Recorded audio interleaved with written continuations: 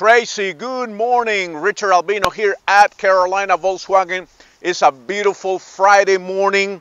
It's about 9:35 here in Charlotte. Uh, beautiful weather, feels pretty nice. Supposed to get better a little bit later on today. But anyways, wanted to uh, thank you so much for expressing interest in our 2021 Hyundai Palisade Limited, black on black, loaded with features on it. Uh, I wanted to do a, a, quick walk around video of this vehicle so you could get a close look at it, okay? So let's start. So once again, black on black, 2021 Hyundai Palisade Limited. This vehicle has got only 8,500 miles on it. It's got the big lights, the LED lights, the nice front grille. It's got the front sensors located right here. It's got that front assist sensors also there. It's got keyless entry, blind spot monitor, loaded leather seat, power seat on both sides. It's got that upgraded stereo system in there. Let me uh, let me start this vehicle, okay? Let's see what we got.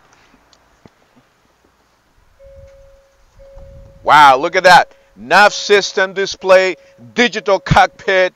It's got front heated seats, nav system. This vehicle is loaded. Look at that sunroof right here. Check that out. It's got that dual sunroof that they call. It's got the HomeLink man, this vehicle's got everything. And let's check the back. Once again, 2021 Hyundai Palisade. It's got the nice captain chairs, nice leather. Look at that. Mmm, feels real soft. It's got also, it's got rear seats on the back. It's got cooling seats, rear and front. Once again, Tracy, this vehicle is loaded. Every single feature that you could think of.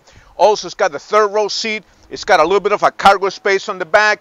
These seats right here is power. You just push these little buttons right here, and this third row seat it fold down. So once again, I, I mean, you can look at this car.